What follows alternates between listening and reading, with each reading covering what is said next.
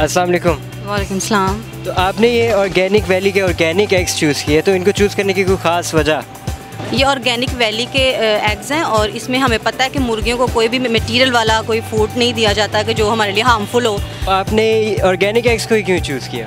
इसमें यह है कि ये प्योर ऑर्गेनिक फॉर्म में हमें मिला हुआ है तो इसके बहुत सारे बेनिफिट्स हैं, जो दूसरे इनऑर्गेनिक एग्स हैं उनकी नस्बत में। तो इसका, उनकी नस्बत यह है कि इसका साइज़ भी बहुत अच्छा है, इसमें कोई स्मेल वगैरह नहीं है तो इसको ये बहुत प्योर फॉर्म में जो प्रोवाइड किया गया हमें तो मैं इसको रेगुलरली यूज़ कर रही हूँ। इसके बहुत सारे बेनिफिट्स हैं। इसके अलावा ये है कि हमारा जो अम्यून सिस्टम इससे सब स्ट्रॉन्ग रहता है तो ये बहुत अच्छा इसका टेस्ट भी है और इसमें यह है कि पूरे घर का एक फ़ूड एक तरह से है। ये 100 परसेंट हमारे लिए ऑर्गेनिक है और इसमें जो वाइटमिन की क्वांटिटी है, वो भी इनऑर्गेनिक की नस्बत ज़्यादा। ऑर्गेनिक वैली के organic eggs 100 percent organic product by Organic Valley Pakistan.